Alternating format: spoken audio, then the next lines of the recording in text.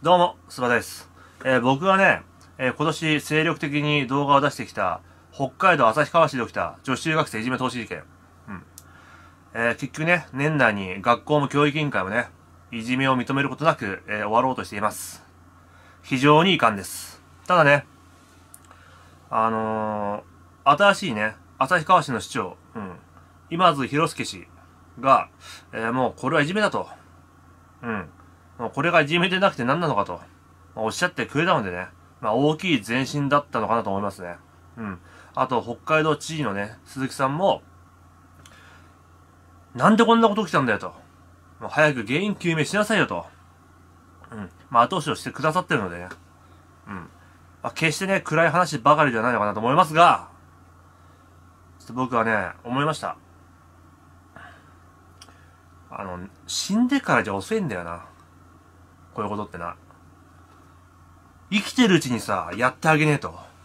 死んでからじゃ遅えんだよ。本当に。うん。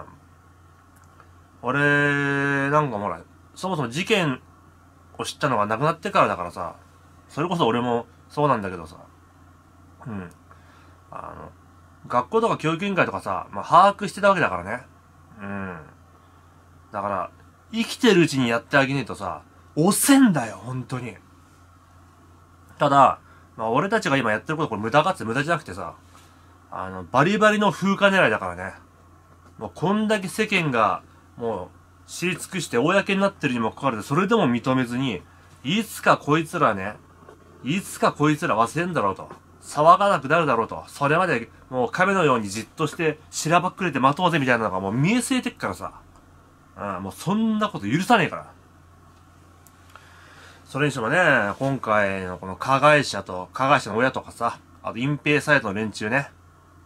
もうちょっと今年終わるけどさ、ね、言うのがね、知り合いとかにね、今年1年お世話になりました。来年もよろしくお願いしますってどの面下げて言うんだろうね。女の子一人死に親っといてね。で、来年もいいのかな？年が明けたら。明けましておめでとうございます。今年もよろしくお願いしますって。言うのかねどの面下げて言うのかね。人一人いじめを殺しておいてね。いやー、申し訳ねえけど幸せになってほしくねえな。幸せになってほしくて、ああ、不幸になってほしいですね。はい。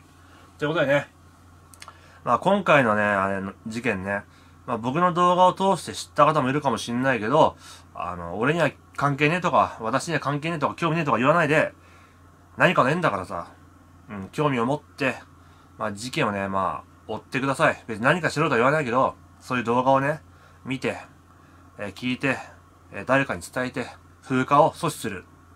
それだけでいいと思います。はい。でね、もしね、あの、さあやちゃんが天国から見ていたら、うーん、まあ、今ね、あの、あの時はね、ほんと孤独だったかもしんないけど、今はもういろんな人が動いて、胸を晴らそうとしてくれてるからね。うん。一人じゃないよって言いたいけど、本当にただ一つ謝りたいけど、ほんと生前何もしてやれなかったってのがね、まあ、知らなかったから、まあしょうがないっちゃしょうがないんだけど、もう大人としてね、ほんとごめんなさいね。本当に。うん。それだけですね。はい。というわけで、さよなら。